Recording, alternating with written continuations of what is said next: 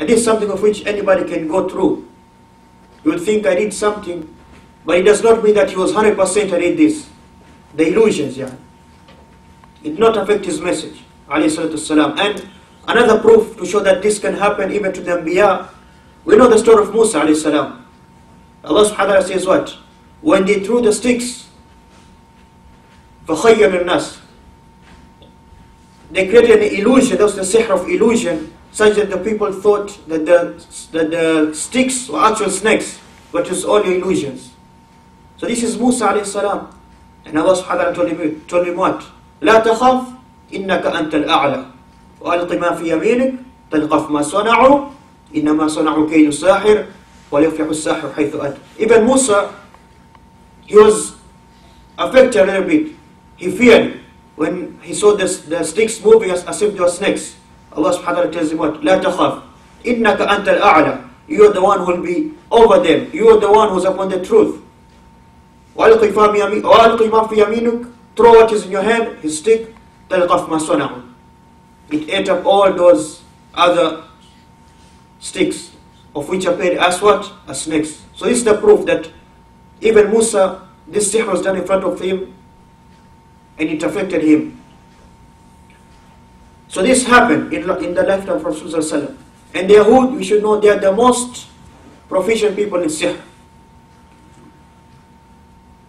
Now, and this is why we see some of the ulama, when they write the books of Aqidah, they include this part, that we believe in sihr, it is real. It is not only illusion.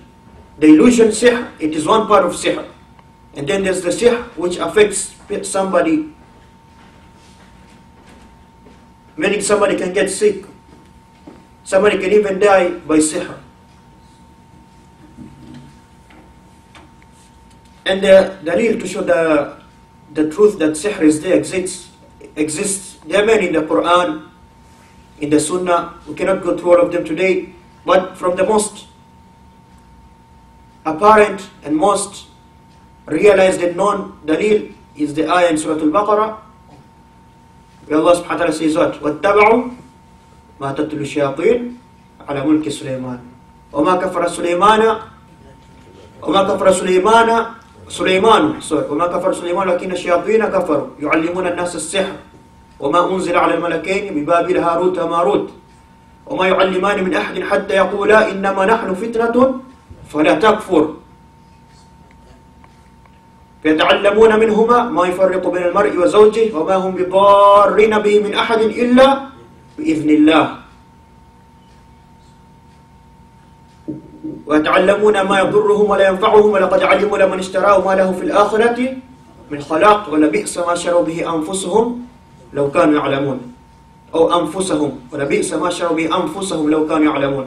subhanahu wa ta'ala says and followed what the shayateen gave out falsely of the magic in the lifetime of Suleiman and Suleiman did not disbelieve but the shayateen devils disbelieved teaching men magic and such things that came down at Babylon to the two angels Harut and Marut But neither of these two angels taught anyone such things till they had said, We are for you a trial, or we are for a trial. So don't disbelieve by learning the magic yarn.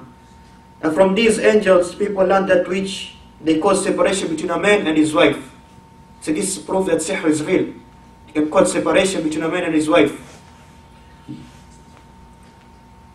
But they could not thus harm anyone except by Allah's permission. This is very important. By Allah's permission. And they learned that which harms them and profit, profits them not. And indeed they knew that the buyers of it, the magic, they will have no, they will have no share in the hereafter. And how bad indeed was that for which they sold their own selves if they bite new. This is one of the dalil to show that sihr is real. Now, today's lecture, this the first benefit to get. We believe in sihr. It is real, but it does not happen except illa bi'ithnillah. Just like somebody, Allah can put somebody into a trial by causing him to be sick or causing him to get into an accident. These are all trials of Allah subhanahu wa ta'ala. Likewise, He can make the sihr work against you just to put into a trap. And we know the Muslim, the more trials he go through, the more daraja he has. Either you increase in daraja or your sins are expiated. As Rasul said what? Everything about the, about the believer is good. Even the thorn which strikes him.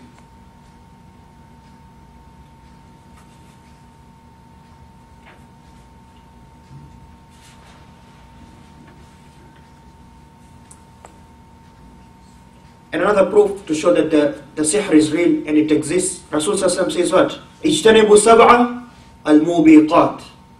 Stay away from the seven destructive sins. قال يا رسول الله ما هن? And they asked, Ya Rasulullah, which are these? قال, he said, الشرك بالله. To commit shirk. It distracts you. You are doomed. والسحر. The second Rasul mentions what? Sihr. Third one, وَقَتْلُ النَّفْسِ الَّتِي حَرَّمَ اللَّهُ إِلَّا بِالْحَقِّ To kill a soul of which it is haram to kill except by, by the truth or by its right.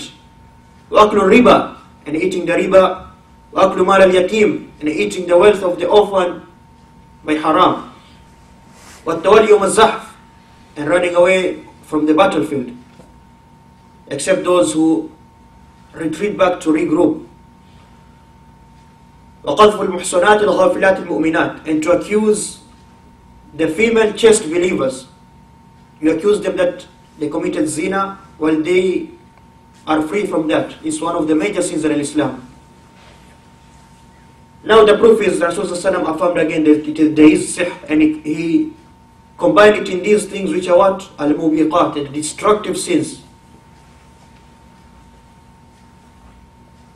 So what is important for us now, there's a fitna or there's a big threat of which the Muslims are going through these days. And that is, these people, these Sahara, they show up in their societies as if they are people who do ruqya. They show up as if they are people upon good. But in fact, they are Sahara. Because we know there is mass, people can, can be touched by the jinn, people can get sick, you do the ruqya. Ruqya is legislated incantation. You recite somebody the Quran and he's, he's cured bi'ithnillah. Now these people, so that they can hide themselves, they appear as if they're people who do ruqya, but in fact they are sah.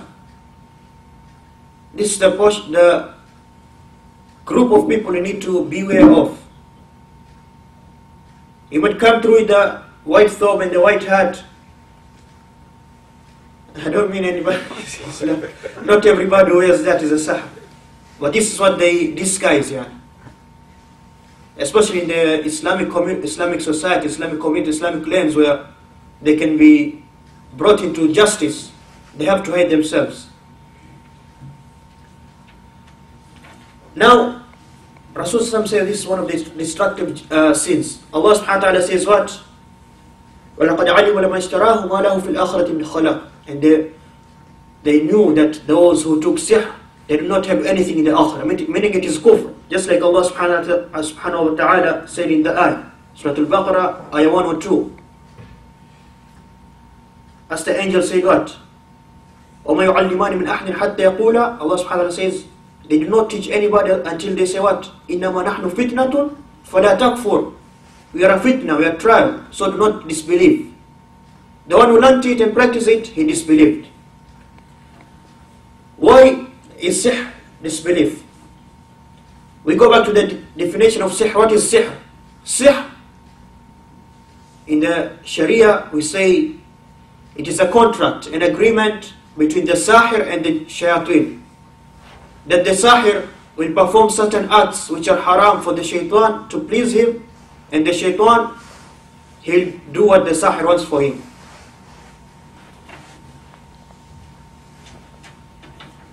Now let us look at what what are some of these actions which they perform to please the shaitan. And before going to maybe I should ask a question. What is the main goal of the shaitan? Shirk. A shirk. Shaitan wants to put you into Jahannam just like he's going to Jahannam. That you commit shirk die upon kufr waliyadha billah.